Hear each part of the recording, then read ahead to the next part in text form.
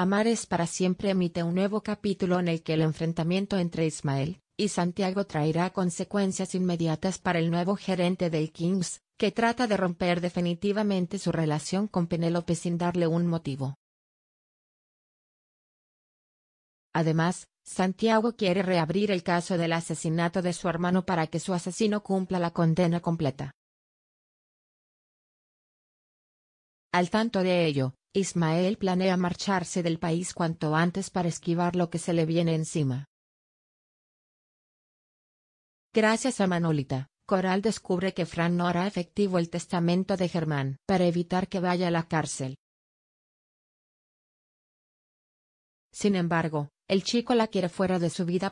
Mientras, Raúl y Carmen evalúan las distintas formas que tienen de para invalidar el testamento, aún sin conocer la decisión de Fran.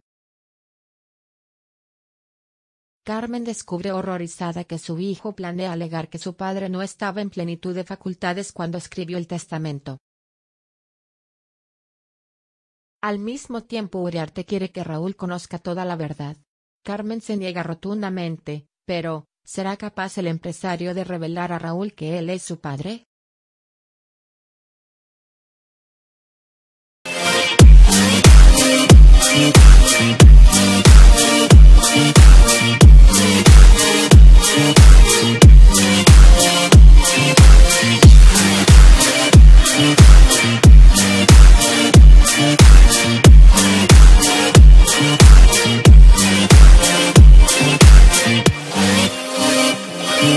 Bye.